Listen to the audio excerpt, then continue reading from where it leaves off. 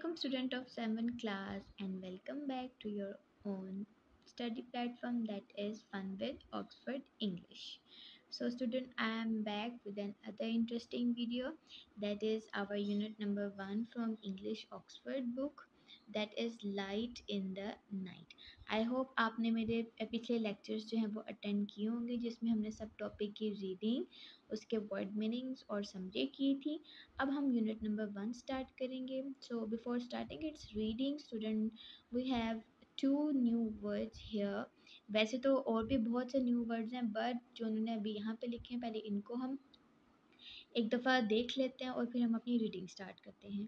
First word है, यहाँ पे हमारे पास एनफोर्स एनफोर्स का मतलब होता है to make sure something is done इस चीज़ का ख्याल रखना कि जो काम कहा गया था वो हो गया है। यानी किसी चीज़ को मुकम्मल करने के लिए, किसी काम को सही वक्त पर सरंजाम देने के लिए हम एनफोर्स का वर्ड यूज़ करते हैं, जिसका लफ्ज़ी मानी जो है वो होता है नाफिज करना। ठीक है। सेकेंड है हमारे पास विक विक का मतलब होता है a string in the oil or in the middle of the candle that is lit for burning. तेल के दरमियान में एक रस्सी नुमा चीज़ या फिर आपने अक्सर देखा हो कैंडल के दरमियान में एक पतली सी रस्सी, बारीक सी रस्सी होती है जिसको हम रोशन करते हैं या जलाते हैं तो वो रोशन हो जाती है। तो बेसिकली हम बत्ती का वर्ड इसके लिए उर्दू में यूज़ करते हैं। आप बत्ती भी बोल सकते हैं, चिराग की बत्ती भी कह सकते हैं, ठीक है? चलें, अब इसकी रीडिंग स्टार्ट करते हैं। London is a major capital city at the night it glow brightly like most modern cities वो कहते हैं लंदन जो है, वो एक कैपिटल सिटी है, ठीक है, और बाकी मॉडर्न सिटीज़ की तरह ये भी रात को बहुत रोशन होता है ब्राइट होता है। Before the seventeen hundreds London was much smaller than it is now वो कहते हैं कि सेवनटीन हंड्रेड में अगर हम पीछे जाएँ तो लंदन जो है वो अब अब की नस्बत जो है वो काफ़ी छोटा था, यानी उसकी आबादी बहुत कम थी। On cloudless moonlit nights, people would take advantage of moonlight and go out to socialize. वो कहती वो रातें जिनमें बादल नहीं होते थे, चाँद की रोशनी होती थी तो लोग इस चीज़ का फ़ायदा उठाते हुए बाहर निकलते थे और सोशलाइज मतलब घूमते फिरते थे दूसरे लोगों से जाके मिलते थे। But night time in the city could be dangerous you could trip fall and enjoy yourself if you fell in the river you could drown you could be attacked or robbed by the criminals who roam the street वो कहते हैं, लेकिन जब वो रातें जिनमें चाँद की रोशनी नहीं होती थी तो तब जो है वो बहुत डेंजरस होता था वो सिटी क्योंकि आप गिर सकते हो, आपकी आपकी किसी से टक्कर हो सकती है, आपको चोट लग सकती है।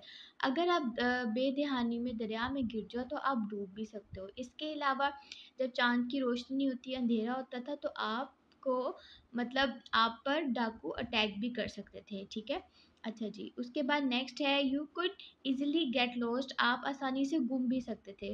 ज़ाहिर है स्टूडेंट देखें ऐसी जगह जहाँ पर कोई स्ट्रीट लैंप नहीं लगे हुए, सिर्फ़ चाँद की रोशनी है तो आप सिर्फ़ चाँद की रोशनी को यूटिलाइज़ करोगे। और इन अदर केसेस जब बादल हुए होते हैं तो कितना डेंजरस होगा बाहर निकलना। If people wanted to go out at night, they would have to carry a burning torch or a lamp, or if they were rich enough, pay someone else to carry it. कहते लेकिन अगर ऐसी रातें जहाँ जब बादल आसमान पर होते थे लेकिन लोगों को बाहर निकलना पड़ता था तो वो क्या करते थे अपने हाथ में कोई भी टॉर्च या लैंप पकड़ लेते थे या इसके अलावा जो अमीर लोग हैं वो लोगों को कुछ पैसे देकर ये काम उनसे करवाते थे ठीक है सेकेंड पैराग्राफ की तरफ़ आते हैं There were many link boys who would for a small fee hold a burning torch or a lamp ahead of the people so that they could see the way through the dark streets.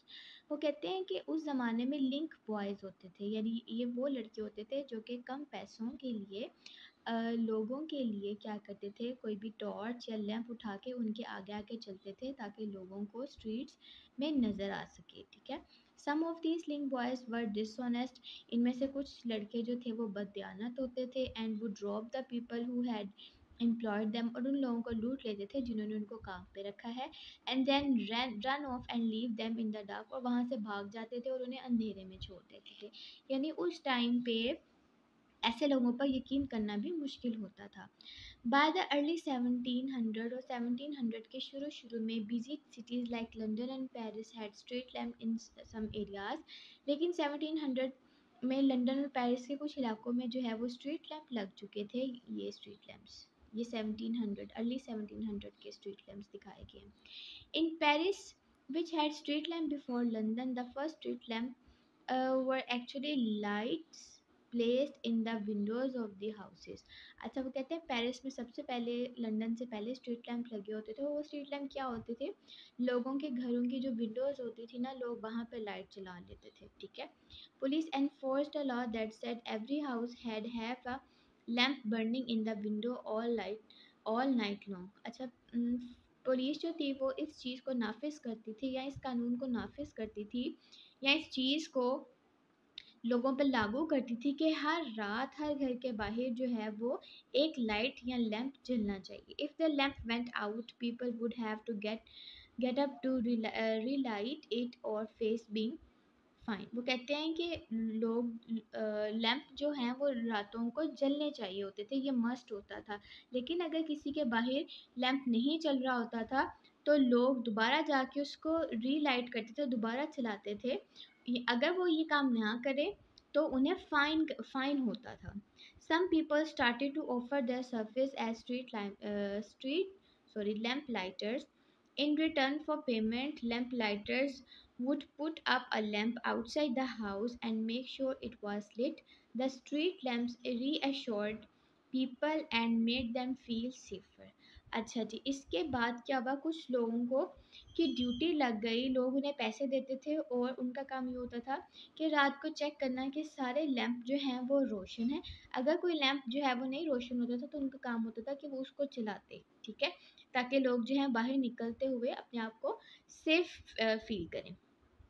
The authorities realized the benefit brought and took over the installation and maintenance of them all over Europe. The use of lamp post grew. अच्छा जी, अब authorities को इस चीज़ का यकीन हो गया था कि कि लैम्प को इंस्टॉल करना, उनको लगाना, उनकी मेंटेनेंस यानी मरम्मत करना कितना ज़रूरी है पूरे यूरोप के अंदर लैम्प पोस्ट जो थी वो लगनी शुरू हो गई थी, यानी लैम्प वो जो स्टैंड वाले लैम्प होते हैं, उनको लैम्प पोस्ट कहते हैं In 1700, London grew rapidly and became the world center of trade, manufacturing, and fashion. Business became important, and lights were needed to keep the city working and entertaining in the night. अच्छा 1700 में वो कहता है London जो है बहुत तेज़ी से ग्रो कर रहा था उसके अंदर ट्रेडिंग का काम चीज़ों बनने का काम और फ़ैशन बिज़नेस हर चीज़ जो थी वो तेज़ी से ग्रो कर रही थी और इस चीज़ अब ज़ाहिर जो जब किसी सिटी की डिमांड ज़्यादा हो जाती है तो उसकी मेंटेनेंस पर, उसकी ब्यूटी पर भी काम देना शुरू कर देती है गवर्नमेंट तो इसी तरह लंदन को भी जो है, रोशन कर दिया गया था ताकि अगर लोग बाहर निकलते हैं रात के टाइम तो वो एंटरटेन हो सके। मतलब जिस काम के लिए वो जा रहे हैं, वो अपना काम जो है, बखूबी कर सके। By the late 1700, London had so many street lamps that visitors to the cities were amazed by them. कहते हैं सेवनटीन हंड्रेड के आखिर में जो थे लंदन में बहुत से स्ट्रीट लैम्प्स लग चुके थे ताकि जो अगर कोई विजिटर सिटी में आता है तो उसे देखकर वो हैरान हो सके वो एंटरटेन हो सके कि लंदन जो है वो कितना रोशन सिटी है The lamps were fueled by the wax or oil that gave off unpleasant smell and often dripped. Many people were employed as lamp lighters because each lamp had to be lit by hand every evening.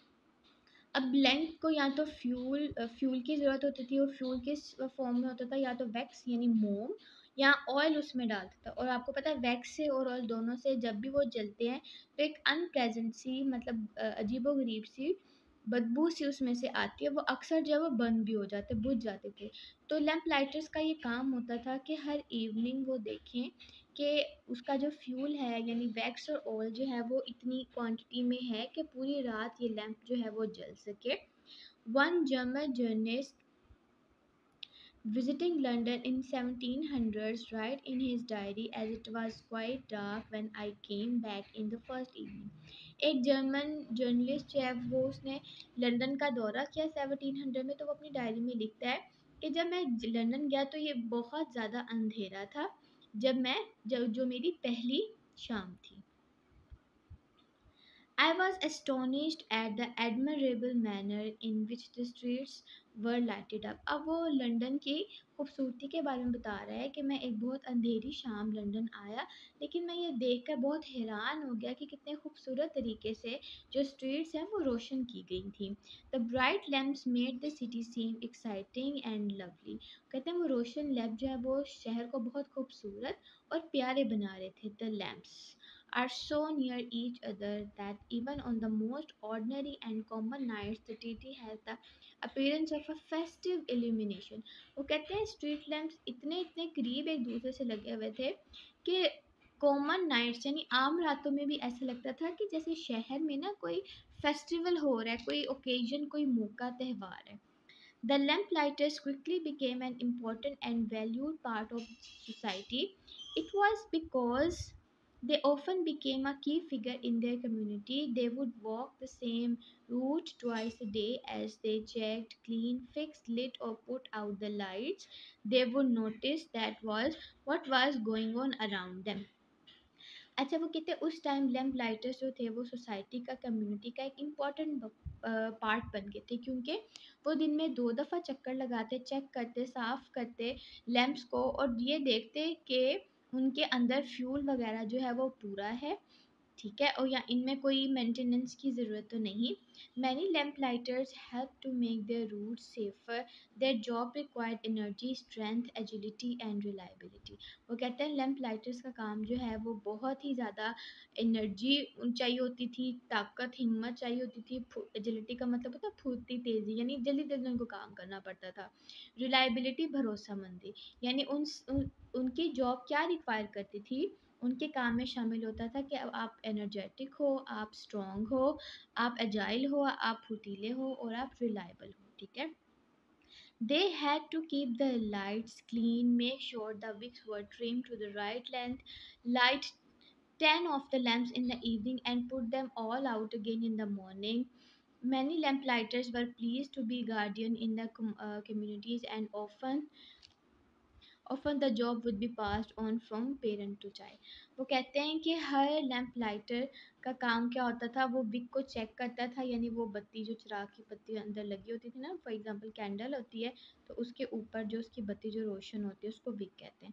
बिक की जो length है वो ठीक है, अगर ज़्यादा लंबी है तो उसको वो ट्रिम करता था, ठीक है? और इसके अलावा लैम्प लाइटर्स को कम्युनिटी में इतना अच्छा समझा जाता था, उनका गार्डियन मुहाफ़िज समझा जाता था और ये इतनी अच्छी जॉब होती थी कि ये पेरेंट टू चाइल्ड भी आगे ट्रांसफ़र हो जाती थी। फॉर एग्ज़ाम्पल अगर किसी के फादर ये काम करते हैं तो ये काम ऑटोमेटिकली चाइल्ड में ट्रांसफ़र हो जाता था।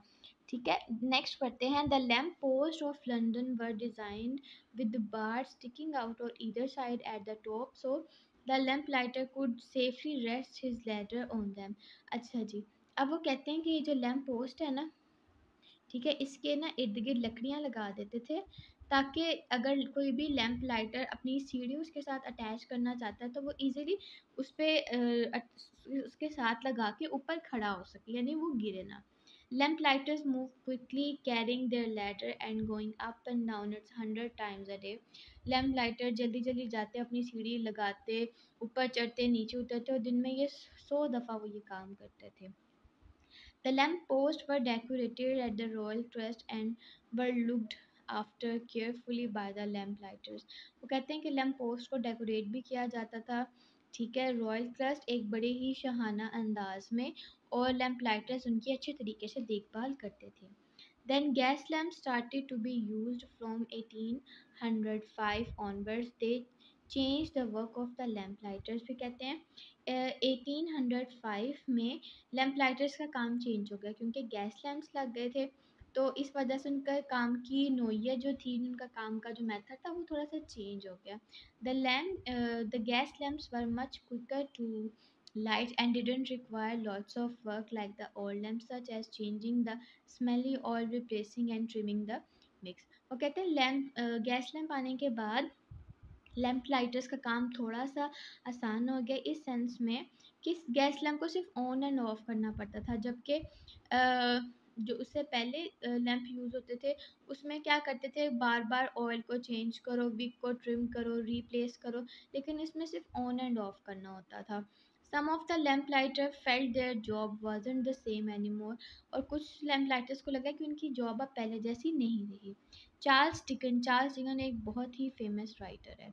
Charles Dickens capturing this feeling in the story उसने एक स्टोरी लिखी, जिसमें वो लिखता है the lamp lighters when one characters talk about the change from oil to gas lamp, अगर कोई इंसान इस बारे में बात करता है कि किस तरह जो लैम्प हैं वो ऑयल से गैस में चेंज हो गए। नेक्स्ट पेज पे आते हैं page number ten I foresees in this foresee का मतलब होता है फ्यूचर बताना।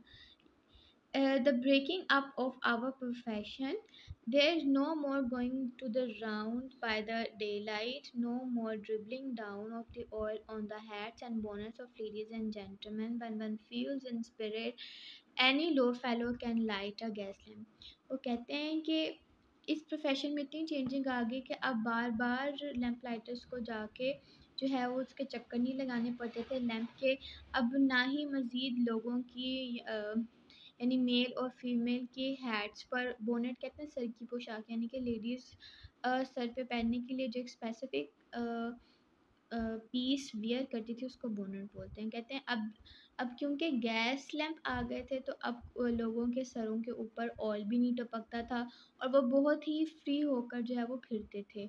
अच्छा जी वो कहते हैं गैस लैंप चलाना इतना आसान हो गया था कि कोई भी लो फैलो, लो फेलोमिन कोई भी आम इंसान जो है वो इसको चला सकता था। Gas lamps were better than oil lamps in many ways अब वो बता रहा है कि गैस लैम्प किस तरह ऑयल लैंप से बेहतर थे। Although a big issue with them was that every now and again one would blow up over time gas lamp replaced oil lamp अच्छा वो कहते हैं, इसमें एक ये चीज़ आ गई थी कि बाज़ लोग शरारत से जला बुझा सकते थे, क्योंकि इसमें आपको लैडर लगा के ऊपर ऊपर चढ़ के नहीं चलाना पड़ता था, इनके लीवर लगे हुए होते थे तो कोई भी शरारत के तौर पर ऑन एंड ऑफ़ करता रहता था, ठीक है? Over time gas lamp replace oil lamp later with the invention of electricity gas lamp were replaced by the electric lamp which now dominate the modern streets वो कहते हैं कुछ टाइम के लिए गैस लैंप ने ऑयल लैम्प की जगह ले ली, लेकिन उसके बाद जैसे ही इलेक्ट्रिसिटी इन्वेंट हुई, बिजली बनना शुरू हुई तो गैस लैंप की जगह पे इलेक्ट्रिक लैंप्स आ गए और अब वो पूरे शहर को रोशन करते हैं। Today there are still fifteen hundred gas lamp in London और अब लंदन में कितने गैस लैम्प लगे हुए हैं? Fifteen hundred five people are employed to operate them light them every evening and put them out every morning अच्छा वो कहते हैं सिर्फ़ पाँच लोगों को काम पे रखा गया इन पंद्रह सौ इलेक्ट्रिसिटी सॉरी गैस लैम्प को चलाने के लिए। वो हर शाम इनको रोशन करते और हर सुबह उनको बंद कर देते। Are careful uh, these lights are carefully looked after because they are a part of the city's history. वो कहते हैं कि इन लैम्प्स को इन लाइट्स की बहुत अच्छे तरीके से देखभाल की जाती है क्योंकि ये सिटी की हिस्ट्री का इम्पोर्टेंट पार्ट है। अच्छा जी Kensington Palace Garden is the name of a long avenue in London. It is lined with grand old building. वो कहते हैं किंगसिंगटन पैलेस गार्डन जो है वो लंदन का एक बहुत ही मशहूर कह लें जगह है it is lined with grand old building क्योंकि इस इलाके के अंदर जो है वो बहुत ही ज़्यादा पुरानी ऊँची इमारतें पाई जाती हैं and is lit entirely by gas lamp और ये सारी बिल्डिंग को रोशन करने के लिए क्या इस्तेमाल किए जाते हैं गैस लैम्प सो so, इससे ये हमें पता चलता है कि लंदन जो है वो चार्ल्स डिकन के टाइम पे किस तरह दिखता था। So this is done student we have completed the reading of unit number one I hope आपको उसकी रीडिंग बहुत अच्छे से समझ आ गई होगी। इसको थोड़ी रीड करना है आपने सारे न्यू वर्ड्स को आपने बाबर प्रनाउंस करना है ताकि आपकी वोकल भी अच्छी हो सके। इंशाल्लाह नेक्स्ट लेक्चर में हम इसका बुक वर्क यानी कि एक्सरसाइज सॉल्व करेंगे। टिल देन टेक केयर अल्लाह हाफिज़।